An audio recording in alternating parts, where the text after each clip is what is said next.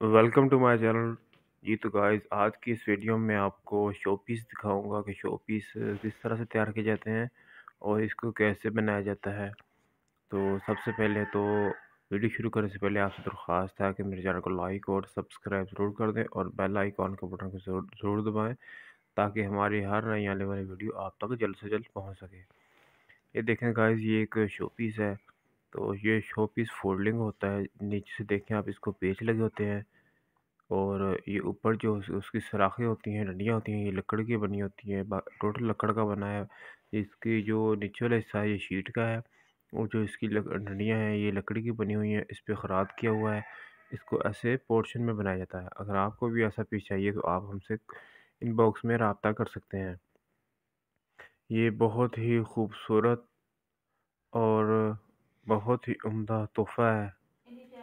یہ دیکھ سکتے ہیں اس کو ہم نے لکڑیوں کی مدد سے جوڑا ہے آپس میں۔ یہ فولڈنگ ہوتا ہے اس کو آپ علیحدہ علیحدہ کر کے کہیں بھی لے جا سکتے ہیں اور اس کے بعد آپ اس کو جوڑ سکتے ہیں۔ اس کو جوڑنا اور کھولنا بہت آسان ہے۔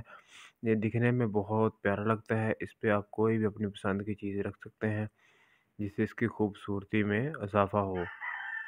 تو اگر آپ کو کسی قسم کا بھی ایسا شو پیس چاہیے ہو تو آپ ہم سے ان باکس میں رابطہ کر سکتے ہیں۔ یہ ایک لیمپ ہے، یہ بھی ہمیں ایک گفٹ ملا ہے۔ یہ بہت ہی خوبصورت ہے۔ اس کے اندر جب بلب لگے گا تو یہ جگمگائے گا دیکھیں، اس کے اندر سارے نگ لگے ہوئے ہیں اور شیشہ ہے۔ اس کے نیچے یہ لڑیاں لگی ہوئی ہیں۔ یہ اس کی تار ہے، لیمپ ہے۔ اور یہ دیکھیں، اس میں گلدستے رکھے ہیں۔ یہ اس کی خوبصورتی میں اضافہ کرتے ہیں۔ یہ آرٹیفیشل گملے ہوتے ہیں۔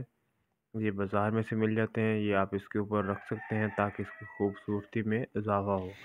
تو امید کرتا ہوں میری ویڈیو پسند آئی ہوگی، میرے چینل کو لائک اور سبسکرائب ضرور کر دیں۔